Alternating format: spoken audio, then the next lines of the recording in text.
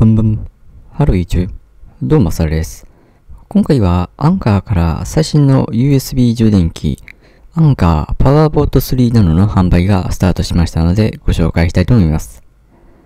この製品は出力が 18W と高出力でありながら 5W クラスの充電器と同じぐらいのサイズに収まっているというのが特徴です。ですので 18W あるということは 5V2.4A や 9V2A の急速充電に対応しているということになります。当然、最新の iPhone 11シリーズ、それから Android スマホの最新モデルも急速充電できます。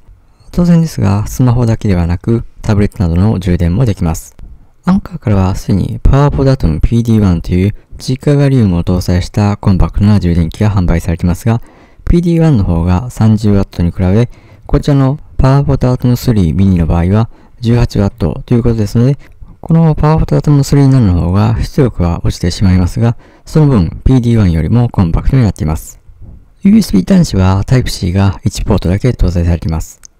また、パワーデリバリーにも対応していますので、パワーデリバリーに対応した USB ケーブルを用意することによって、この充電器の性能を落とすことなく、スマホなどを急速充電できます。一つ欠点としては、 Power Delivery には対応していますが、 Power Delivery 対応のノート PC の充電には少し出力が足りないかと思います。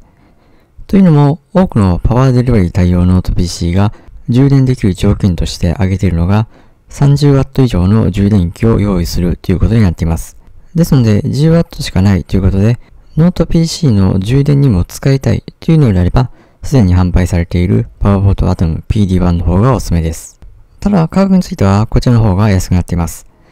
PowerPort Atom III Nano の方が2000円。アンカーのパワーポットアトム PD1 の方が約3300円となっています。自宅用と会社のデスクで使用する用の複数の充電器を持っておきたいというのであれば、価格の安い今回発表されたパワートータム3なの方がいいかと思います。なお、本体のプラグ部分は折りたたむことができないタイプになっています。その分コンパクトではありますが、携帯する際は他の機器に当たって傷をつけてしまう心配もありますので、同時にプラグキャップなども購入していることをお勧めします。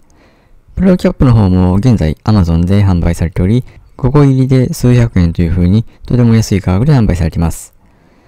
動画の概要欄には今回ご紹介したアンカーの最新の充電器、パワーボタントム3ナノ、それからプラグキャップの販売ページのリンクを貼っておきます。各モデルの最新の価格、それから詳細な仕様などが気になる方は概要欄の方からチェックしてみてください。今回は以上です。グッドボタンとチャンネル登録よろしくお願いします。